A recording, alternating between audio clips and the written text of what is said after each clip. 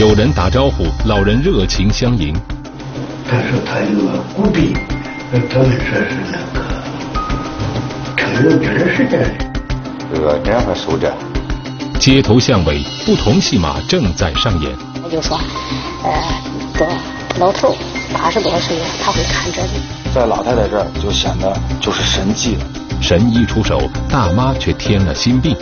主要是对老年人的心理这个打击非常大。半路杀出程咬金，今日说法即将播出。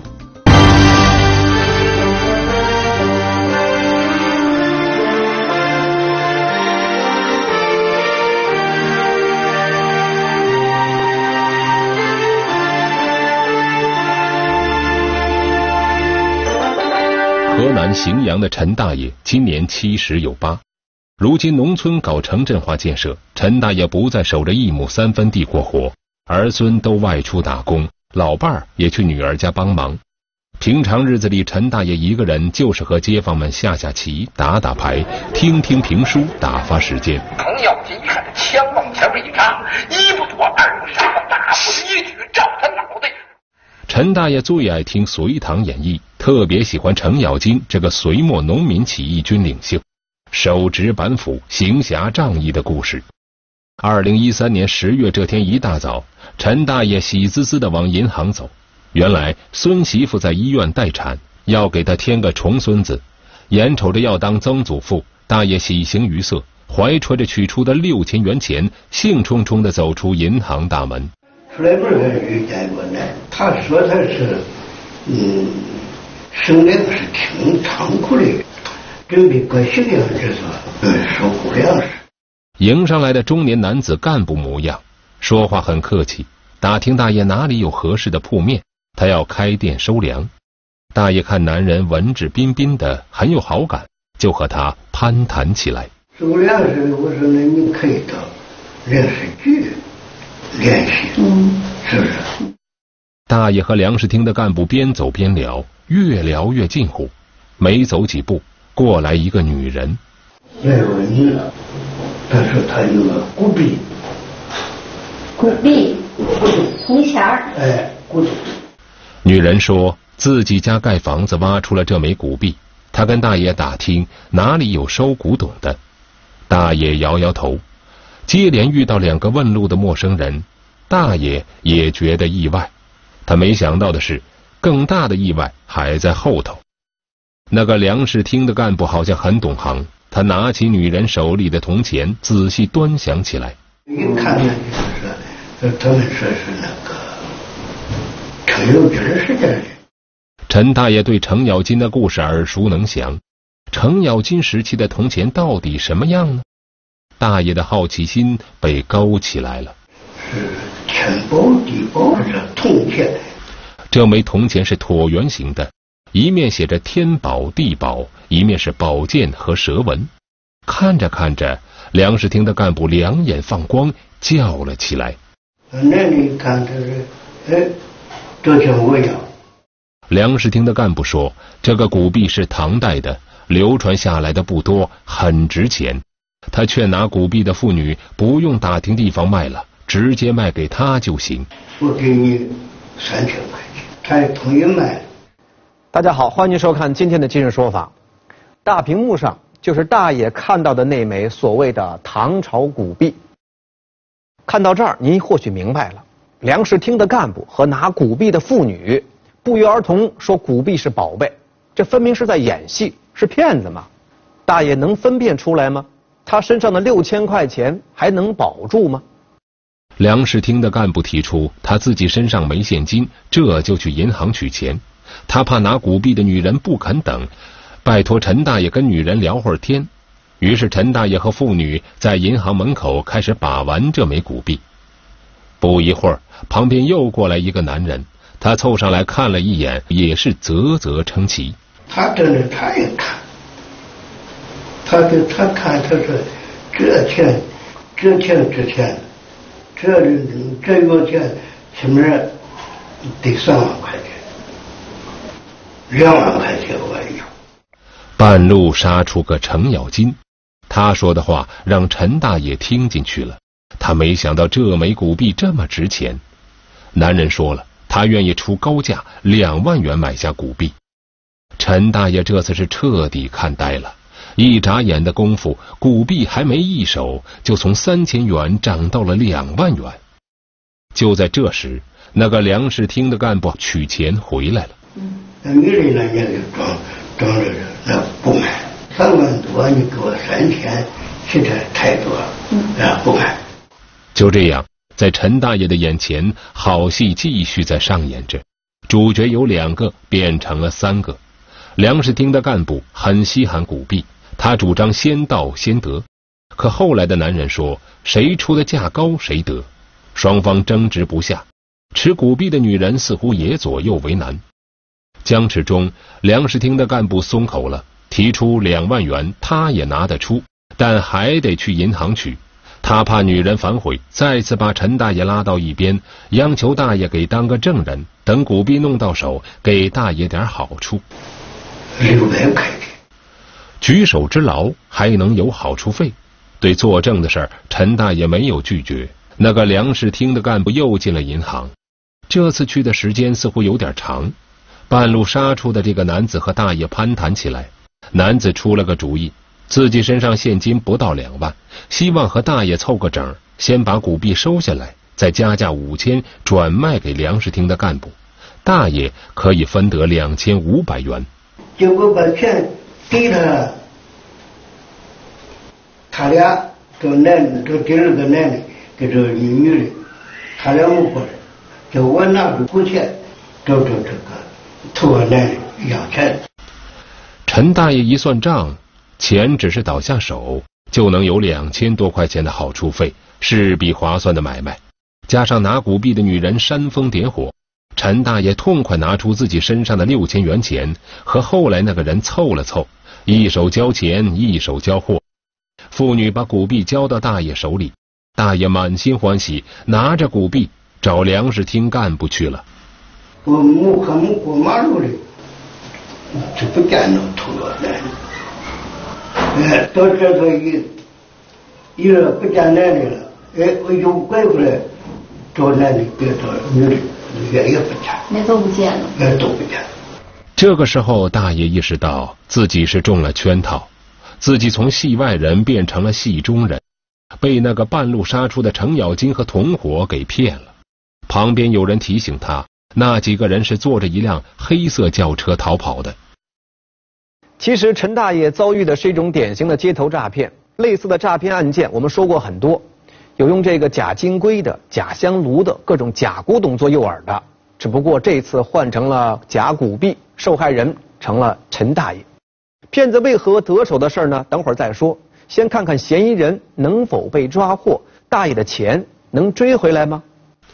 嫌疑人开的那辆黑色轿车成为警方破案的关键。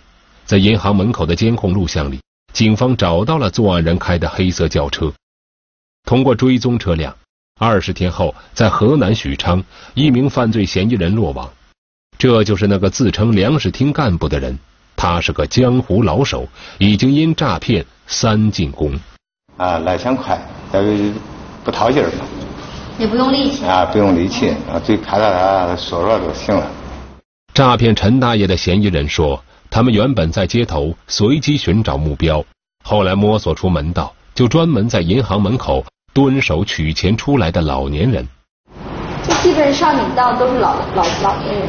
对，六十多，六十多的，七十多的。陈大爷走出银行门那一刻，他眼前就一亮。他那个长胡子，啊，看起来很憨厚，啊，感觉到他去的有钱，然后去的有钱，就现在就是接着头给他搭线，然后一一个就这。张娟上货，就是说打算差不多，说的差不多了，他就上货，就是又问那口气，这个人会收这？就问有没有收古币的？哎，收古币的地方在哪？嫌疑人说，之所以选择陈大爷这样的老年男性，是因为他们大多对古董文物什么的感兴趣。那么，骗子用来骗人的程咬金时代的古币，到底是个什么物件？值多少钱呢？那是古代的吗？它是仿古代。那等于说你买的时候很清楚多少钱买来的？可能是几块钱。几块钱？啊，那古玩市场什么的。对对。警方调查得知，这个天宝地宝铜钱是民间制作，用来镇宅的工艺品，跟程咬金扯不上关系，也不值钱。除了古币，这个团伙也用过其他物件进行诈骗。还有其他东西，就是买的那个呃假东西。比如说。呃，还有这个香炉了，其他东西。欣慰的是，因为警方破案及时，陈大爷被骗的六千元钱也追了回来。陈大爷中的这个圈套，技术含量不高。三个人在他跟前演了一出戏啊，先过来一个人搭讪，建立起信任。第二个女人上来，行话叫上货，也就是假古董上场了。然后第二个男人半路杀出，过来搅和生意，营造气氛，制造矛盾。结果在好处费诱惑之下。大爷中计了。下面呢，在河南荥阳，有位李大妈，近期呢也遇到了闹心的事情。大师断言，长子将有不测。你这些你那小孩整天跟围天跑车，会出大事儿。神医出手，灾难即将破解。这个在老太太这儿就显得就是神迹。留守老人为何屡屡成为被害目标？别人跟自己聊聊天啊。哎，马上就产生了信任感。半路杀出程咬金，今日说法继续播出。李大妈今年五十三岁，两个儿子都不在身边，老伴儿在工地帮忙。这天，大妈出门给老伴儿送饭，半路上遇到一个中年妇女。他就说：“大姐，大姐，你半路找人。”他说：“他就在这一片，他哥有病，没病去医院里看不好。”他就说。呃，多老头八十多岁了，他会看这病。打听老中医的妇女一脸着急。李大妈是个热心肠，就跟她边走边聊。没走多远，过来一个黄头发的女人。她就说：“我知道，就在这，走吧，咱仨一块儿去吧。”就在那。黄头发女人说自己找神医看过病，可以给大妈带路，还说这个老中医不得了，不但医术高明，还能未卜先知。大妈听说有这样的神医，不免好奇。李大妈没啥大病，但是小毛病不断，也想找神医看看。三个人往前走了几步，在对面小区里出来一个年轻女子，自称是神医的孙女。她说的，她那一天她哥家住满月了，嗯，走到她楼底下，她说不让去，不让上楼。神医的孙女说，哥哥家里做满月酒，不方便外人进。他进去跟爷爷禀告一声，没几分钟，神医的孙女从楼里出来了，面色凝重。你那孩儿，嗯，出事过来就是，呃，在一百天左右，这都九十七天了，掉三天时间了。你这些，你那小孩整天跟围天跑车，会出大事儿。嗯，啊，他说的，出车祸或者啥大事原来不一会儿功夫，神医已经算出李大妈有两个儿子。而且大儿子是个长途货车司机，在一百天内必然有血光之灾。李大妈确实有两个儿子，大儿子真是开长途货车的，很少在家；小儿子在外地当兵。听说大儿子要有血光之灾，李大妈慌神了。这时候，神医的孙女出来安慰他：“拿了个钱能破，能破，拿钱破，啊，拿多少钱破？他说你家有多少钱拿多少。”他说还给，还给是吧？嗯，他说的是到呃到他爷那，就是呃叫他看看，叫你那一烧香，叫那一看，你是挣这个钱，表示你这还是诚心诚意心意，入数还给你。李大妈想到家里有五万存款，就打算回家取。黄头发女人马上说自己是开车来的，车就在旁边，可以帮忙带她回家。路口就过来一辆黑车，那男的开着就过来了。过来，他他他们几个也坐着，他也叫我坐。李大妈回忆说，自己是晕乎乎的上了这辆黑色轿车，开车的是个小伙子。车很快停到了村口，李大妈开锁进了家门。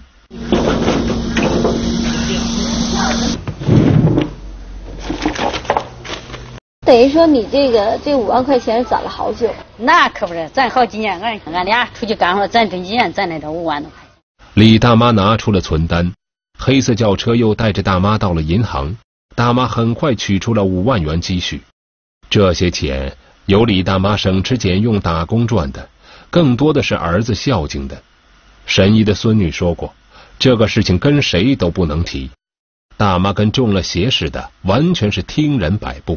李大妈从银行取钱出来，又坐上了黑色轿车，开车到了神医家楼下。我一上车就把钱给他了，他说你你下来走九十多步，你不能拐头。哎，他就叫我一直往呃对着脸往西走。他车站那等着我，他说你走了拐过来。李大妈照做了，钱给了神医孙女，回头走了几步，边走边数，越走大妈越沉不住气。我下来了以后后悔了，我一拐头，我我走没走到九十九步，我尽管拐头一拐头，他车都跑了，急着正正的跑了。你走了十几步吧？啊。层层伪装的骗子到底在哪里？这诈骗的可多吧，步步都得放啊出来。有比较高的反侦站。在乡亲们面前，谁低下了头？我犯犯下罪，我也非常后悔。半路杀出程咬金，今日说法继续播出。李大妈遭遇的是典型的冒充神医消灾诈骗，这也不新鲜，我们节目当中也播出过很多次。这起案件当中，三个妇女先后出现。分别扮演问路的啊带路的，还有神医的孙女，还有一个是开车的男性司机，四个人合谋设下陷阱，整个过程不过半个小时，大妈的五万块钱就不见了。这起诈骗案件呢，嫌疑人开的也是一辆黑色轿车。警方通过银行门口的监控摄像头拍摄的画面，发现这是一辆东南凌帅轿车。车主信息调上来是个新郑这个长河车，车型不符。肯定不是这辆车，他这个车是假牌。警方分析，驾车来诈骗肯定不是荥阳本地人，于是，在进出荥阳的各个高速路口查询事发后，往来黑色东南轿车。通过排查高速路出口拍摄的车辆照片，警方锁定了嫌疑车辆。最后，咱们就确认了这辆车的车牌是属于咱们河南省许昌市豫 K 的车牌。警方追踪到了这辆黑色轿车的行驶轨迹。他不走直接到许昌去的高速，他先到洛阳，然后从洛阳下站之后，然后沿原路返回，再走其他高速回许昌。啊，他这个就是说，呃，有一定哎，对对对对对。二十天后，在河南许昌，警方将诈骗李大妈的三名犯罪嫌疑人抓获。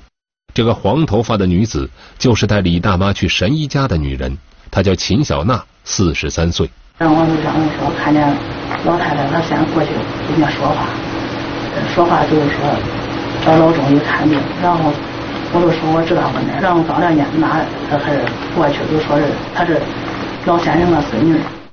这个秦小娜无业，平日里好逸恶劳，就和同村的几个人想用神医消灾的方式骗人。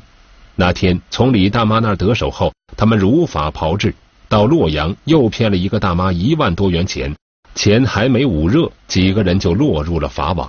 警方帮李大妈追回了三万多元损失。一号嫌疑人出现之后，他除了就是说，呃，勾起这个老太太对这个大师的这个，哎，对兴趣之外，他还肩负着一个责任，就是通过搭讪聊天，从侧面了解这个老太太家里边的一些基本情况啊。这个嫌疑人二号听到了这些东西之后。要把这些东西信息通过这个手机，然后就联系这个大师的孙女，这个在老太太这儿就显得就是神迹了。秦小娜说：“他们这种冒充神医消灾诈骗，面对的都是农村的老年女性。那他们针对的一般是什么样的人群？老人单单独一个老人在家，这种留守老人，这个年轻人不能经常回来看望父母。”而这个父母呢，又比较担忧自己的儿女平安。这个跟老年人呢，主要是他这个年龄有关系。好多老年人呢，这个，呃，就像这个有些有封建迷信思想，呃，像比如花钱消灾啊什么的，这个给孩子这个祈求平安呐，等等。呃，犯罪分子容易利用老年人的这种心理状态，呃，进行诈骗活动。李大妈当时对神医消灾的圈套，为什么没有一点防备呢？您咱听过这样的事儿吗？没有。他就是一扶我车，我就他说话弄啥我都听着都不当真，就跟着他就走。你们这听说过有什么神医消灾吗？听说过，听说过，谁都谁都灵灵吗？李大妈没听说过神医消灾的诈骗手段，加上迷信思想，又受到惊吓，完全懵了。而被假古董骗了的陈大爷跟记者说，自己这辈子也是头一回上当。那个这我还是头一次，还第一次遇到哈。就是做做后后心反正了，啥也不图。荥阳市人民法院的法官介绍，陈大爷、李大妈遇到的诈骗案看似骗局不同，方法也各异。但却有着一些内在的联系，因为被骗的两个老人都是农村的留守老人，神医消灾诈骗骗的是老年妇女，而假古董则是针对老年男性的。留守老人屡屡被骗，有着特殊的社会背景。老年人呢，因为成年子女不在家，这种思想沟通呢，精神方面的这种啊寄托比较单薄，所以说呢，有时间呢，别人跟自己聊聊天啊。哎，马上就产生了信任感，啊，这有有这种心理上的跟人交流的需求，可能也有啊，所以说有时间容易上当。李大妈的大儿子开长途车，很少回家；小儿子在外地参军，一年一见；老伴白天外出打工，孙子也上幼儿园，他身边缺说话的人。那你想，当时如果能跟孩子或者是家里人商量一下，应该也不至于这样。你还回了一趟家，啊，他们都不回家。陈大爷独居多年，平常就是和老邻居们下棋、打牌、看电视、听评书。事发后，怕老人寂寞，孙子和媳妇带着孩子住了过来。农村老人文化水平低，辨别力差，加上经济来源不多，容易贪图小便宜上当。事发后，李大妈的老伴儿怕他再被骗，剥夺他手中的财政大权。陈大爷不光听评书了。而是到处现身说法，逢人就讲自己的遭遇。上个来就不理了吧？上个来逢人就不理了。回来了，回来，调回来了，这个这个这个一年以后再受骗。具有讽刺意义的是，诈骗陈大爷的这个嫌疑人告诉记者，他父母也都八十多岁了，自己诈骗得手后，对自己的父母却一再提醒告诫。给他们说。不管该危险遇见啥事谁给你们打就是打话，不要理他们。俺这块可多就是说丢耳坠的，老婆就丢耳坠的，丢这个首饰的。我说啊，都是都是都是，他也是叫缺走的。我说别千万别就是说别爱财，主要是关键主要是一别爱财。他就是不贪钱的人他都不管，是贪钱的人都得管。今天来到演播室参与讨论的是中国政法大学的阮麒麟教授，欢迎您，阮教授。你看李大妈和陈大爷他们被骗了，但是这钱呢被追回来了，还算不错啊。为什么这些老人，尤其留守老人呢，很容易受骗呢？那这个骗子吧，他对这个老人的心理有相当的研究，甚至于他们专门有设计这种骗局的套路，他都经过一定的演练。留守老人嘛，一方面主要是比较孤独。所以说，遇到骗子来搭讪的时候呢，他往往跟他就搭话。另外一方面就是年纪大了，这个判断力也比较差一些。还有一个老人，一般的都还有一点钱，确实做出局来以后，也容易使这个他人上当受骗。但就是提醒老人，就是时刻谨记一点：凡是让您从兜里拿钱这事儿，就一定要提高警惕。对陌生人。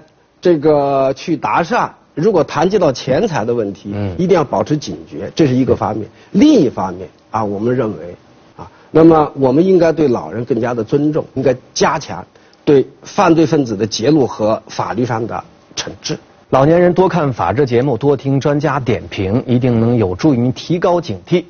那么，为了防止老年人受骗，受理这起案子的荥阳市法院呢，他们把审理李大妈被骗的案子呢。他放在了田间地头公开审理。就是最后我知道了，就是感觉自己犯，虽说犯犯下罪，我也非常后悔。我现在认罪，请求请求法院法官对我从轻处理。诈骗李大妈的秦小娜，在乡亲们面前接受了法院的审判，几百村民前来旁听了案件。我们注意到，旁听审判的很多是一些留守老人，旁听席上还有一个特殊的观众。许多犯罪分子就利用了留守妇女、留守老人啊、留守子女的他们的一些这个生活的困难和家庭的一些特殊情况来进行犯罪活动。就说这个案件很容易用很低级的方式就把这个老人呢他父母的就骗走。河南是人口输出大省，全省百分之四十的家庭都有留守人口。一亿人口中有两千五百万青壮年外出打工，留下的老人、小孩、妇女都是弱势群体。农村老人的务农所得微薄，存款主要是儿女孝敬的养老钱，一旦被骗，身心俱疲。如果被骗了，呃，这样的话呢，会影响到基本生活成本，这个包括开门的支出，妈都会捉襟见肘，他可能这种支出就会受影响。其次呢，主要是对老年人的心理这个打击非常大。那丢了，我一天都没有吃饭。